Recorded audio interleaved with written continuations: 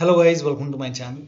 Today in this video I'm going to show you how to fix when you're unable to install version 25H2 on your Windows 11 computer because of this error code that is 0x800F0831. Now the first step is to install this update. Now for this you can go to Microsoft Update Catalog website. So you can search for Update Catalog and then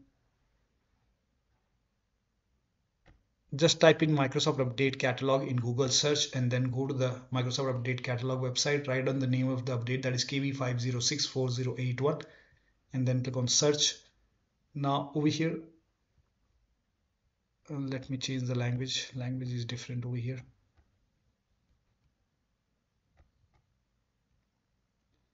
Now over here, uh, right now your Windows version is 24H2 so you have to download the right one.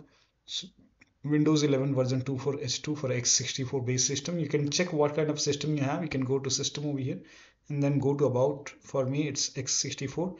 So for me, it's Windows 11 version 24H2 x64 base system. Click on download and then you can install this KB 5064081. Click on it and then you can run this file. Once the download is complete, click on it and follow the on-screen instruction to update this update manually.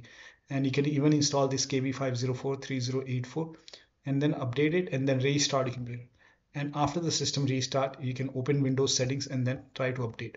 Still you are receiving the error. The next step is to pause and restart the update.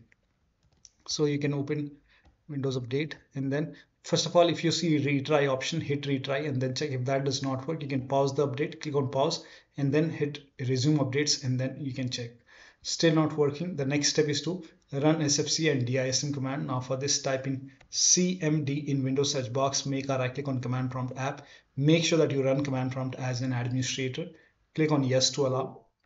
Copy the first command and then paste it over here. Hit the enter key now the scan will take some time.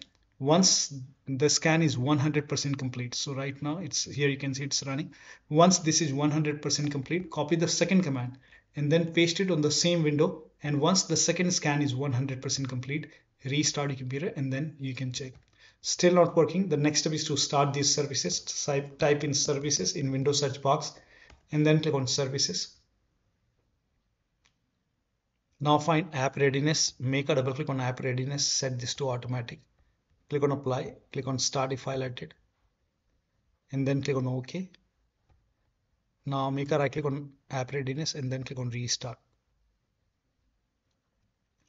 Now find windows update scroll down here you can see windows update make a double click set this to automatic apply click on start if highlighted then click on ok. Again make a right click click on restart now find background intelligent transfer service, make a double click, again set this to automatic, apply, click on start if highlighted, then click on OK, make a right click and then click on restart. And once this is done, try to update. Still not working. The next step is to use Windows 11 installation assistant. For this, you can open this link in a browser. It will take you to Microsoft website. Here you can see Windows 11 installation assistant. Click on download now and then run this exe file.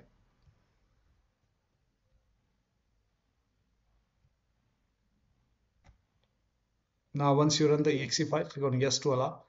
And if there is any update, you will see update option or install option. Install it and then you can check. Still not working. The next step is to use fix problems using Windows Update. For this, open Windows settings, go to Windows Update and then go to, let me click on retry over here. Yeah. Now you can go to advanced option over here and then go to recovery option. And over here you can see fix problems using Windows Update. This will reinstall your current version of Windows. Your apps, files and settings will be preserved. So click on reinstall now. This process will take some time.